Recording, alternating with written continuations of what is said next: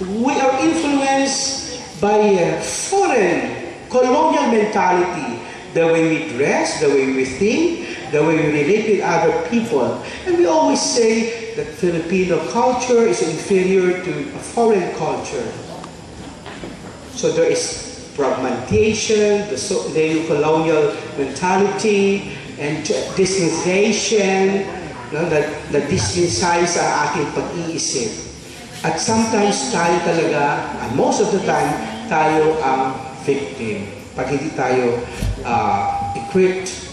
Next. Ay nako.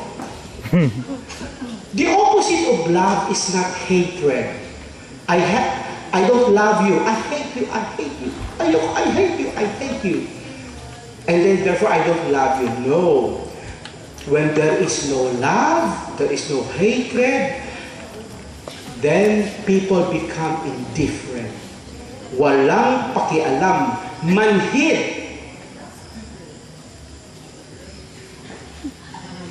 Pag wala na makaya ang tao, pakialam ko sa kanila. Uy, ang mga tao sa Iliga at saka sa Cagayan de Oro, naputol na ang trees, the trees were cut, and therefore they were victims of sandal. Ang, ano from Cagayan de Oro, pakialam ko sa kanila. Naging manhid. Kasi, after all, I'm not affected, so why should I uh, think of them? Okay? So the opposite of not being loving is being indifferent. Maging manhid. You become numb.